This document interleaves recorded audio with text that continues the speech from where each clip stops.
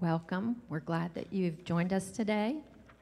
I have just a couple of announcements. Um, first of all, if this is your first time with us, please out, fill out the Connecting with Grace card that you can find on your bulletin and drop that in the offering plate when it comes around so that we can keep in touch.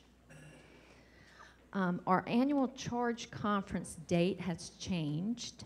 It was to be October the 10th, and now it will be October the 30th at 7. So it will still be at 7 p.m. here in the sanctuary, but the date has changed to October the 30th. All members are invited to attend, but only those who are voting members of the charge can vote. If you have any other questions, you can see Pastor Ben. Our men's barbecue is coming up on October the 21st. It'll be from noon to 5 p.m., and if you would like to get a ticket to that, see one of our men of the church. Make your reservation now to join Grace at Sea. We are taking a cruise out of Charleston. It'll be May the 6th through the 11th. You can find all the details on our website. Contact, you can contact also Michael Boone on the phone number listed on the web page for uh, U.S. travel to book for that cruise. And now we will have the chiming of the hour and the call to worship.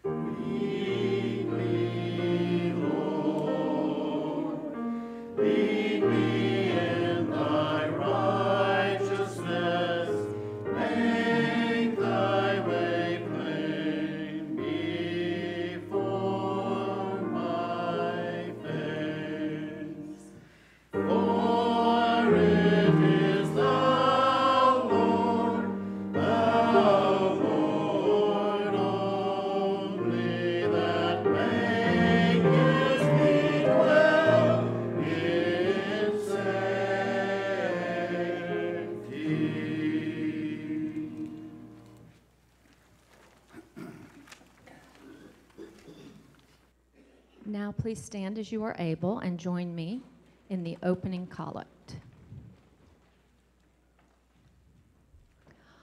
Almighty and everlasting God, you are always more ready to hear than we to pray, and to give more than we either desire or deserve.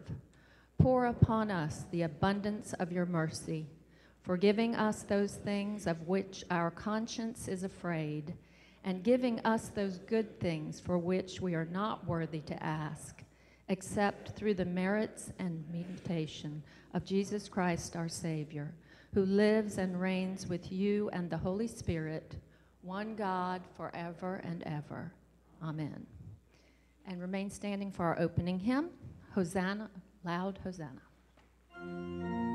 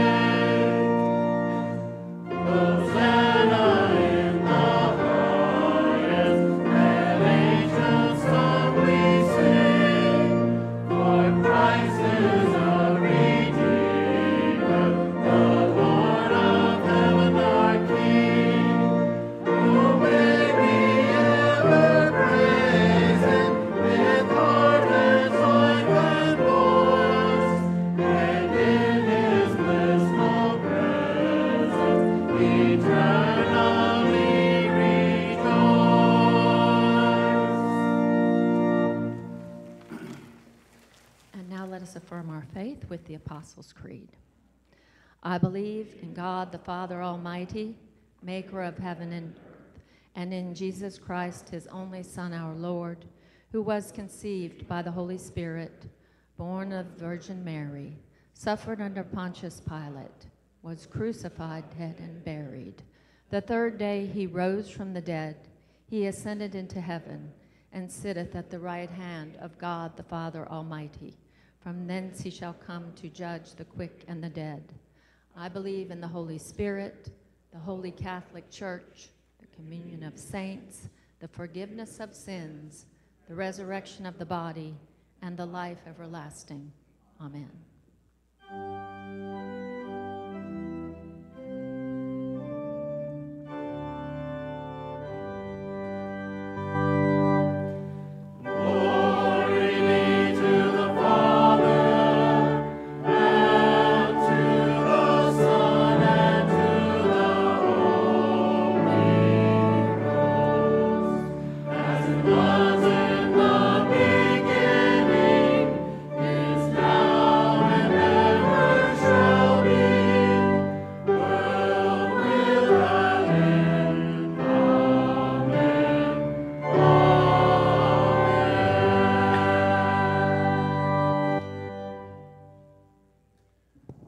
I'm going to invite most of you to be seated at this time, but I'm going to invite those who are joining or standing with somebody who is joining to please come forward at this time and to, to join us up front. I, I, I do want to point something out that uh, I think is rather fitting today as people are coming forward. Uh, some of you may wonder why in the ham sandwich do we turn and look at the altar Bible whenever we sing the Gloria Patri? Uh, the tradition of the Gloria Patri is to make sure that we understand that the God that is revealed in the Old Testament is the same God that is revealed in the New Testament. And we sing this after we affirm our faith with the words of the Apostles' Creed. These words have been passed down for generations about what it means to be a Christian. So we affirm our faith with the words of the Apostles' Creed, and then we turn to the Bible to affirm that we we profess that the God of the Old Testament is the God of the New Testament. It just feels like that's something some of us might enjoy understanding why we do that, especially since we are reading the Bible um, cover to cover. As a pastor, I'm making a mental note that from now on, whenever somebody from the choir joins, we're just going to have to have new members at the end of the worship service. But it, it, it is a beautiful thing. It is a beautiful thing uh, that, that, that we have community and connection. Uh, we have five people that are in front of us today to officially join Grace United Methodist Church. And then we have church family that is here to stand with them to say, We are here to support you and encourage you in this journey. So today we have Kathy Walker, uh, who, who is joining. We also have Brandy and Eddie Boyd. And then we have Meg and Chip Cooley who will be joining us. Uh, for all of you, I invite you to find a hymnal and open it to page 33 as we celebrate uh, this liturgy. So, brothers and sisters in Christ, through the sacrament of baptism, we are initiated into Christ's holy church. We are incorporated into God's mighty act of salvation and given new birth through water and the Spirit. All of this is God's gift, which is offered to us without price. So today we present Kathy Walker, Brandy and Eddie Boyd, and Meg and Chip Cooley for membership at Grace United Methodist Church.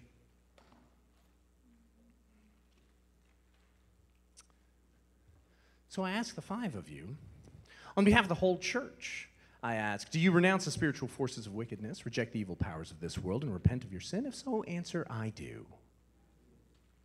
Do you accept the freedom and power God gives you to resist evil, injustice, and oppression in whatever forms they present themselves? If so, answer, I do. Do you confess Jesus Christ as your Savior? Put your whole trust in His grace and promise to serve Him as your Lord in union with the church which Christ has opened to peoples of all ages, nations, and races? If so, answer, I do. Now, church, will you nurture these who are in front of you as Christians joining this congregation? If so, answer, I will. And Will you nurture one another in the Christian faith and life and include these persons now before you into your care? With God's help, we will proclaim the good news and live according to the example of Christ. We will surround these persons with a community of love and forgiveness, that they may grow in their trust of God and be found faithful to their service to others. We will pray for them that they will be true disciples that walk in the way that leads to life.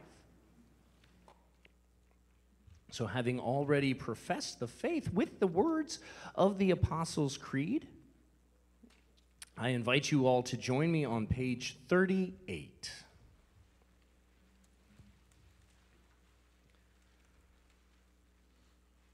So I have two more questions for those who are joining. As members of Christ's Universal Church, will you be loyal to the United Methodist Church and doing all in your power to strengthen its ministries? If so, answer, I will. As members of this congregation of Grace United Methodist Church, will you faithfully participate in its ministries by your prayers, your presence, your gifts, your service, and your witness? If so, answer, I will.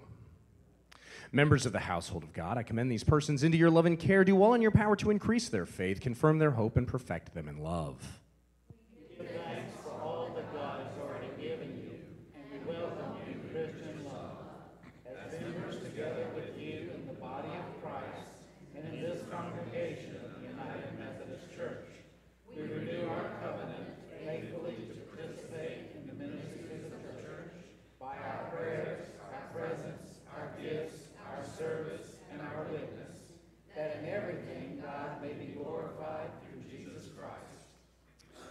Beloved of the Lord, it is a good and joyous thing to celebrate formal things with formal liturgy, but it's also good to do things in a less formal way. So, beloved of the Lord, will you join me in officially welcoming our five newest members to the family with a round of applause?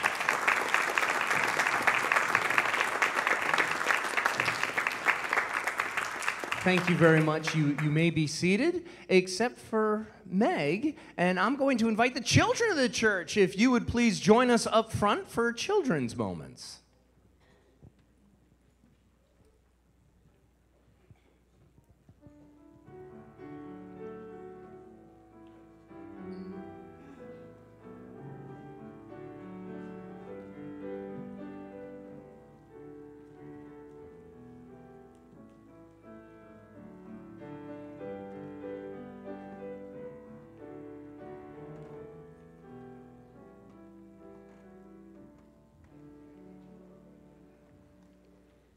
Morning, guys. Got a little crowd today. Okay, so have you guys ever played tag? Yes. Yes? Okay, but have you ever played two person tag? Really? Well, we're going to play it right now, and I need a volunteer. Lily, pop up here real quick. Okay, we're going to play two person tag for you guys. This is going to be a really exciting game. Are you guys ready? To be good. Are you guys ready? Ready. Okay, here we go. You're it. You're it. No, you're it. You're it. No, you're it. You're it. You're it. You're it. You're it. You're it. You're it. You're it. No, you're it. You're it. You're it. You're it. You're it. You're it. Okay, I'll be it. You can go sit down. Thank you. Okay, so was that the most exciting game of tag you've ever seen in your life? That was a. It was what? That was a pin. Okay, wow. It's pretty boring, right? I think it's fair to say that tag is a lot more fun when more than two people play it because then you don't just get caught in that loop back and forth over and over again. I liked playing with you, but probably be more fun with the group, right? Okay. When we go to children's church in just a bit, we're going to learn about some challenging lessons that Jesus gave his disciples. This particular lesson he gave them is about how to respond to their enemies. And it would have probably seemed pretty unusual to them, maybe even difficult to actually do or to even think about. He tells them to love their enemies, to bless people who curse them. He tells them to give away their things to people who are stealing from them. He tells them not to tag the other person when you're stuck in a two person game of tag. Okay, maybe he didn't say that last one, but he did say all those other things. And I do think that the idea of tag is helpful to understand what Jesus is saying here. In that game of tag we just played, what did you want to do to me? tag me. And what did I want to do to her? Tag her right back, right? And we just went back and forth over and over again. When people, yeah, not really. Okay. Well, when people do things to us that we think are unfair or mean, we often feel like we want to get back at them. But Jesus offers us a different option. Jesus invites us to follow him, to keep our eyes and our hearts on him. And when we choose to follow him, we learn from him how to receive God's love and mercy.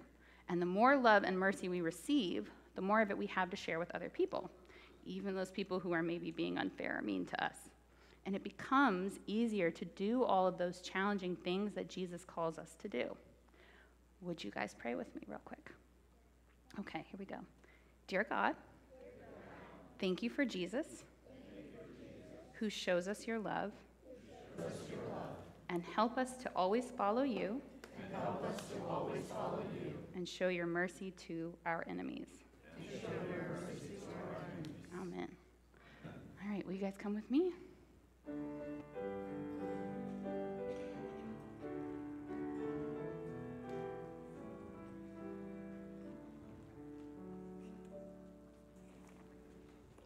This morning, uh, we will have a stewardship moment coming from Michael Boone.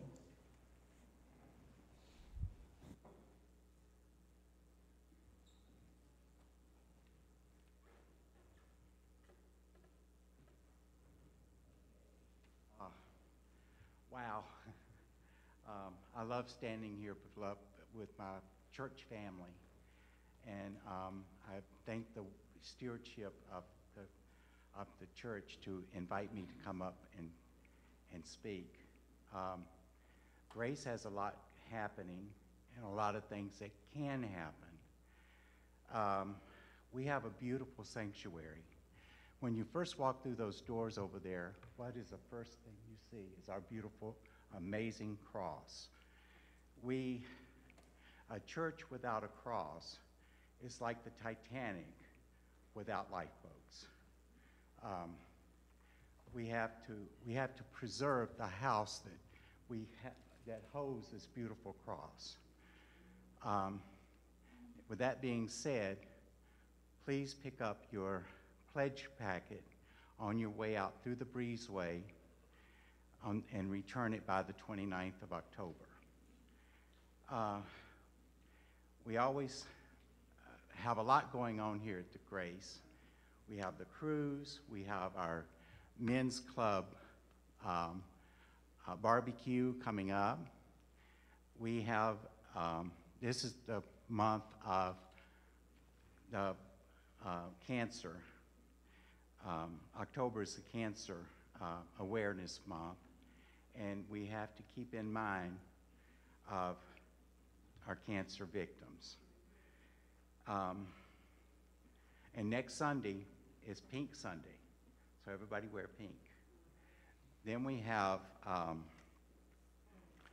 um, our contributions for our acts of grace is always appreciated. So please continue um, with the acts of grace. And let's all pray, pray, pray for Israel. And uh, and the world. We, we, have to, we have to keep in mind this war in Israel is too close to our Jerusalem. It's too close. So, in Jesus' name, we pray, Amen. And God bless America.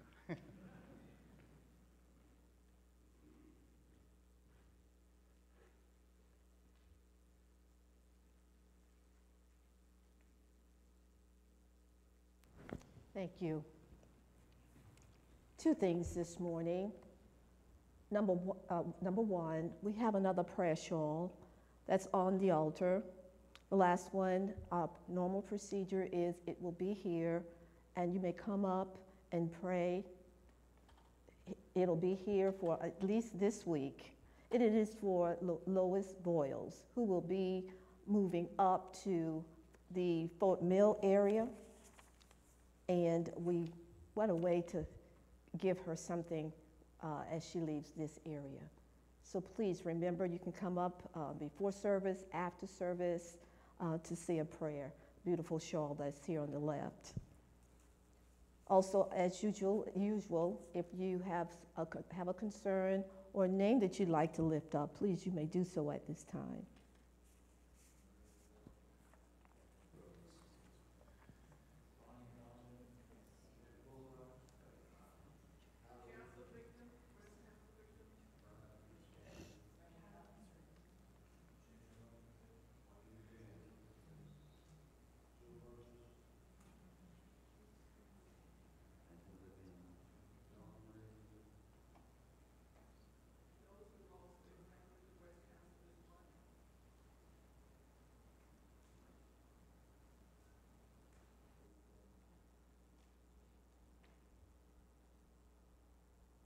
Eternal God, everlasting to everlasting, you are God. We magnify and glorify your name this morning. Gracious God, we praise and honor you. And all wise and everlasting God, we thank you for this time and space of worship. Today, we are grateful for all of your many blessings upon our lives. We thank you in advance for leading and guiding us as you do, as we do your will. Forgive us when we do not help as we should, and just be merciful upon us.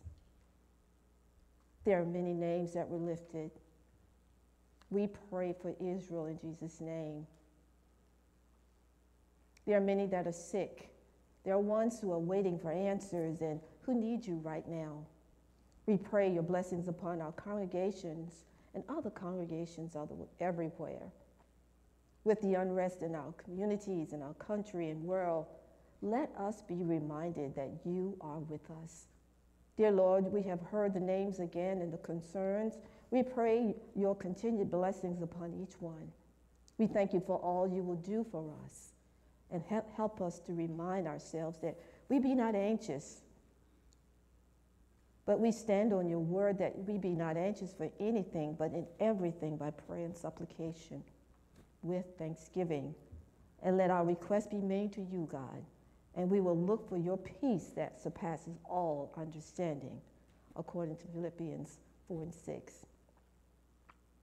We ask, oh God, that you continue to bless our children as they live and grow.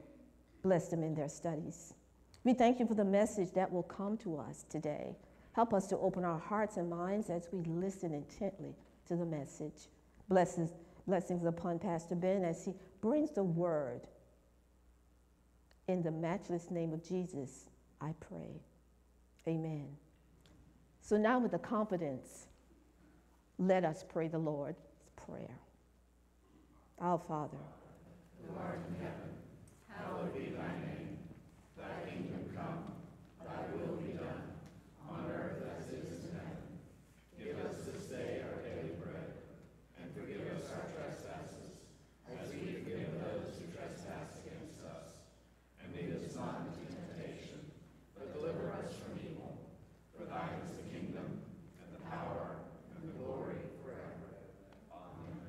Amen. At this time, the ushers will come for the offering while the choir brings us the anthem.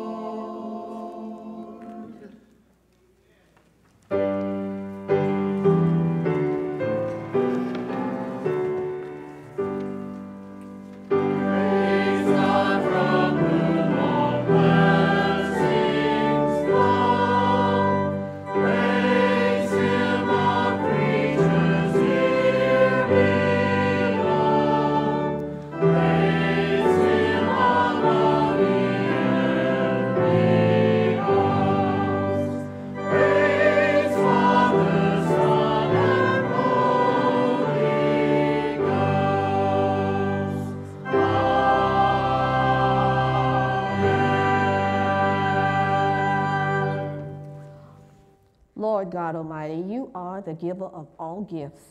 As we return to you a portion of all you have given to us, we ask that you bless our gifts and multiply them to be used by you for your honor and glory.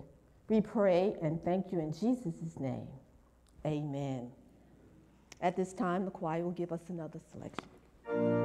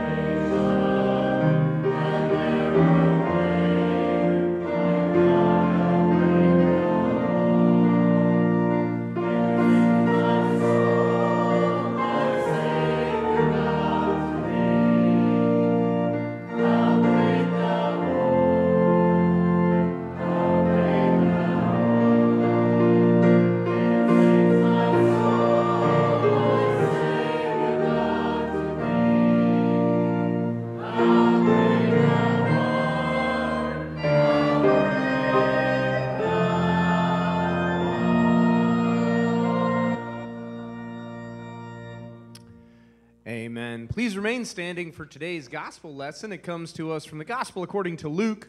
We are in the sixth chapter, starting at verse 32. Jesus says, If you love those who love you, what credit is that to you? For even the sinners love those who love them. And if you do good to those who do good to you, what credit is that to you? For even the sinners do the same. If you lend to those for whom you hope to receive, what credit is that to you? Even sinners lend to sinners to receive as much again. But love your enemies. Do good and lend, expecting nothing in return. Your reward will be great, and you will be a child of the Most High, for He is kind to the ungrateful and the wicked. Be merciful, just as your Father is merciful. Do not judge, and you will not be judged. Do not condemn, and you will not be condemned. Forgive, and you will be forgiven. Give, and it will be given you. Good measure, pressed down, shaken together, running over will be put in your lap. For the measure you give will be the measure you get back. This is the word of God for us, the people of God. Thanks be to God. Please be seated.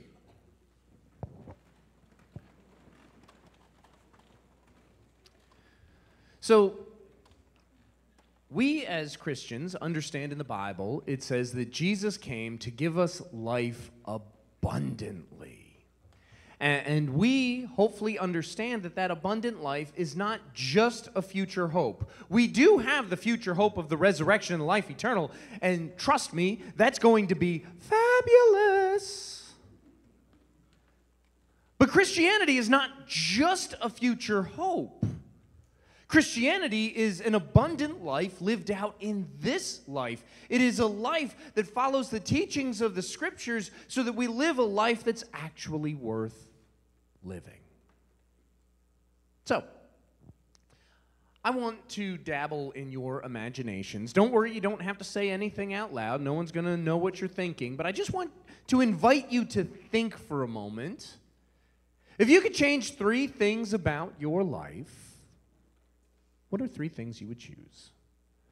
Now, we're not doing anything for the whole world. This is not ending world hunger or bringing world peace. We're not, we're not talking about the whole world. We're just talking about your corner of the world, your life. What are things that you would want to have different in your life? Some people might want better health. Some people might want better finances. Some people might want more love. Some people might want the world to be a little more understanding or supportive or gracious to them. Well, the scriptures speak to these things. So when it comes to, to, to uh, better health, we understand that the Bible says that how we care for our mortal bodies is part of our spiritual worship, and we are stewards of what God has entrusted us with, so we should take care of our mortal bodies. Uh, and people who follow that teaching tend to, to get more out of their mortal bodies. And, and, and then we, we know that people who practice biblically based financial habits usually are more comfortable with their finances. Uh, as John Wesley put it, we should try to earn all we can so that we can save all we can, so that we can give all we can. But usually, the people who, who handle money that, that, that they have the way God would have them handle it usually find a comfortable place to be when it comes to money. But then we get into wanting to have more love or support or grace or patience or understanding in our lives. And that's what today's scripture passage is talking about. Now, I love today's scripture passage for a million and a half reasons. Occupational hazard, I love the Bible. Uh, but I do want to point out the last words Jesus speaks right before our scripture starts is what we refer to as the golden rule. Do unto others as you would have them do unto you. So that should be floating in the back of our minds as we work through what today's scripture passage says.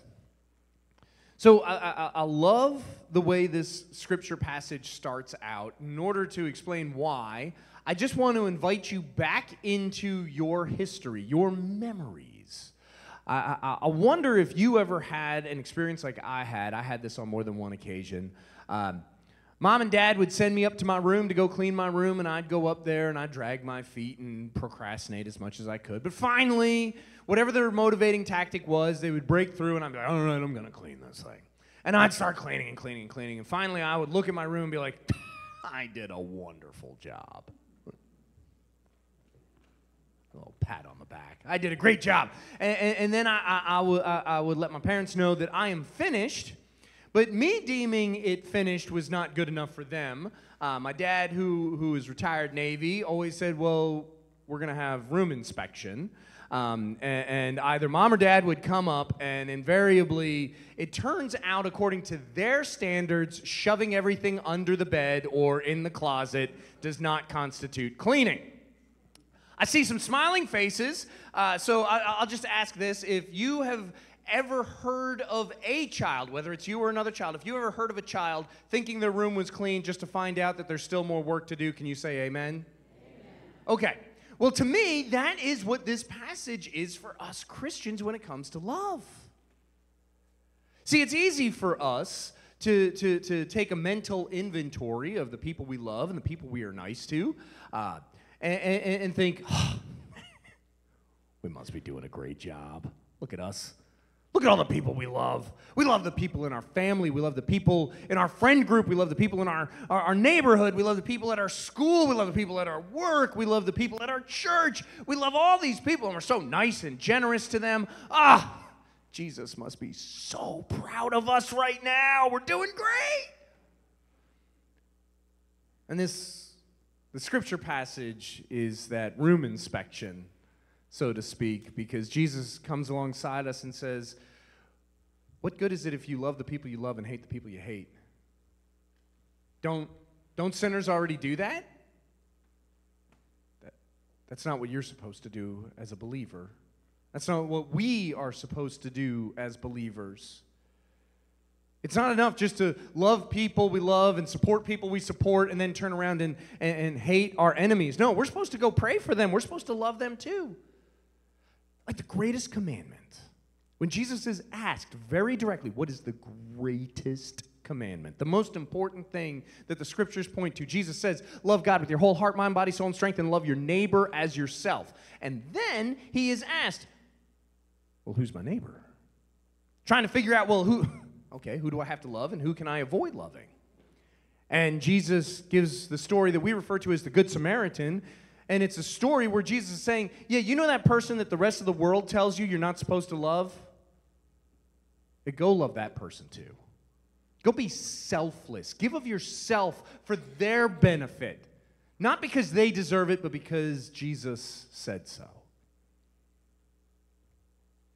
So, it's that gut check. It's that reminder, you know what? We might have a lot of people we love and that, that we are gracious to and supportive of but then there's the rest of the world. We're supposed to love them too because Jesus loves them too. Well, then we get to the second half of this passage, which is what I really want to focus on.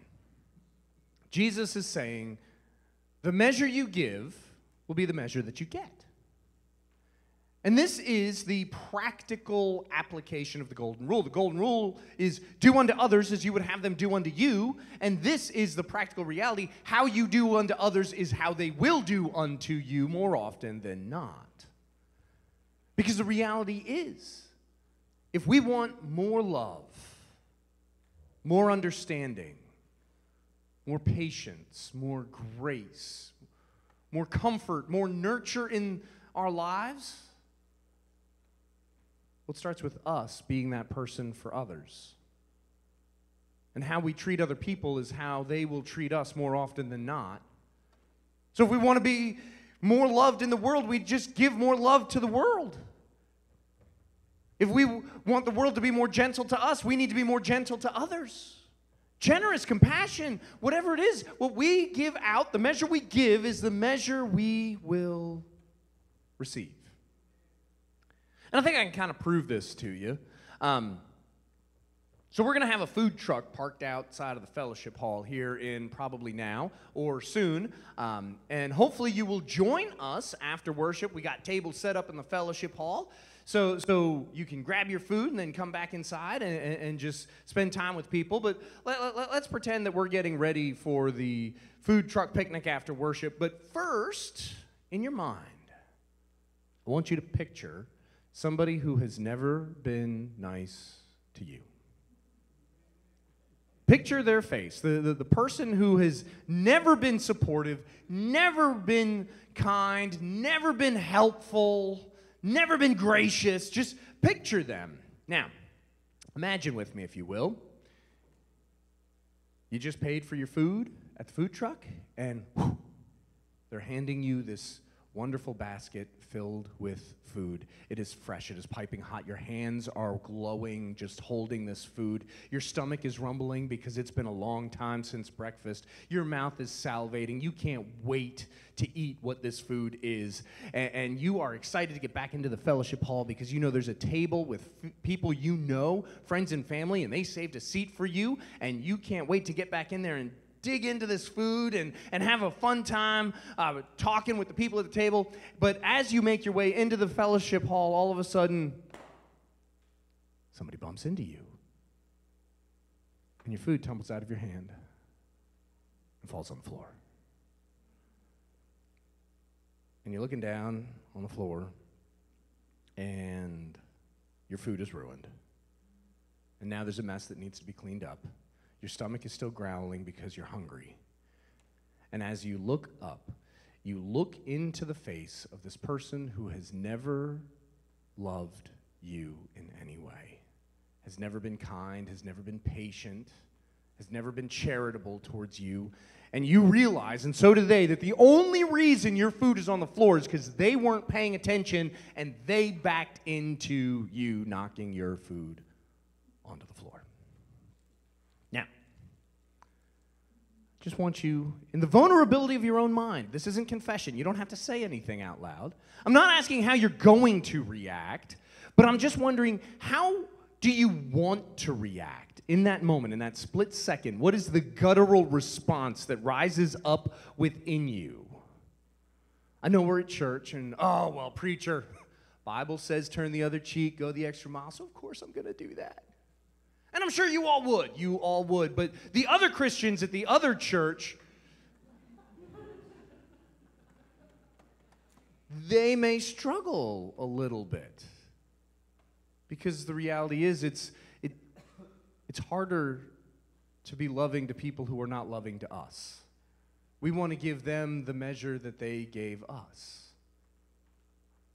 All right, step back from that. You don't have to shake your heads, but imaginary etch a sketch in your mind, just shake it out, and so that the picture's blank again. Now, once again, the blank canvas. You are back outside of the food truck. Food is so intoxicating, the smell. You can't wait. Your hands are glowing, holding this warm food, and your tummy's growling. And there are people inside in the fellowship hall that can't wait to sit and talk to you, and you can't wait and go sit and talk to them. So, so you, you get your food, you're wa- making your way into the fellowship hall, you get into the fellowship hall, and all of a sudden, somebody bumps into you. You look down. Your lunch is ruined. Your tummy's still growling because you're still hungry. Once again, you realize the reason your food is on the ground, and the other person realizes at the same time the only reason your food is on the ground is because they weren't paying attention and they just backed into you. But as you pan up, you look. And there's that face that's always been love, always been support, always been nurture, always been kind, always been patient to you. How do you want to respond? Chances are you'd still want to hug them. You, you'd want to offer them the love and the, the grace and the nurture to give back to them just a bit of what they poured into you.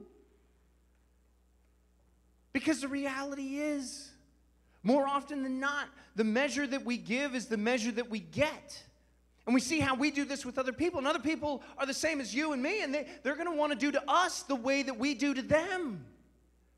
So, if we want to live a life where we experience more love, more understanding, more nurture, more patience, more peace, well, it begins with us.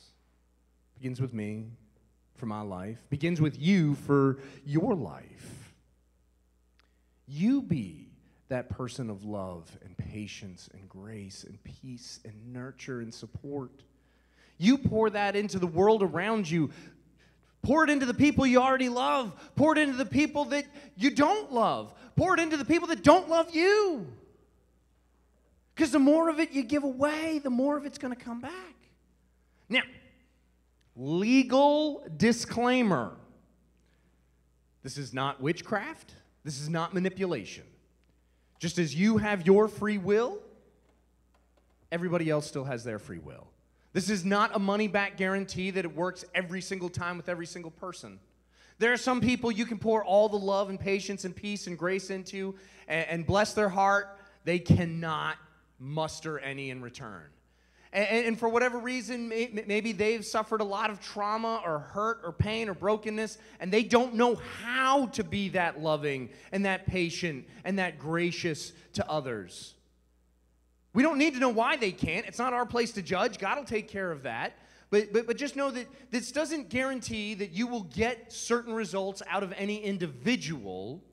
This is just in mass. The more people that you are that embodiment of Christ for, the more people that will embody Christ's love back to you. So, I say all of that to say this Jesus loves you. If you only hear me say one thing, please, please, please, please, please hear me say this Jesus loves you. And, and I'm pretty confident the reason all of us are here today, instead of being kicked up on the couch as seventh day horizontalists getting ready to watch football, the reason we're here today is because we love Jesus. Amen? Amen? And the reason we love Jesus is because Jesus did something for us first. Before we chose Jesus, before we chose to be good, before we chose to go to church, before we chose or anyone chose for us to be baptized, Jesus loved us first. And so we love in response. And the same thing happens with the people around us.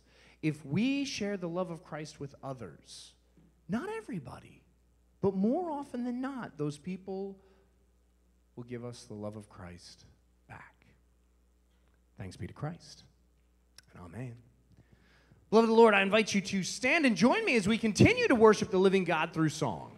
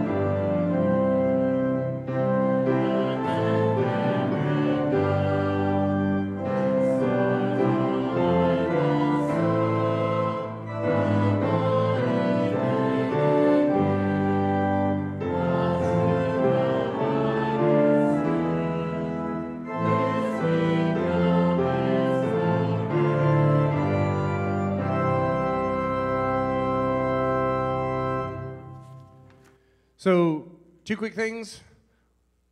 For every member of Grace United Methodist Church, or anybody who gave to Grace United Methodist Church last year, we have a letter literally with your name written all over it.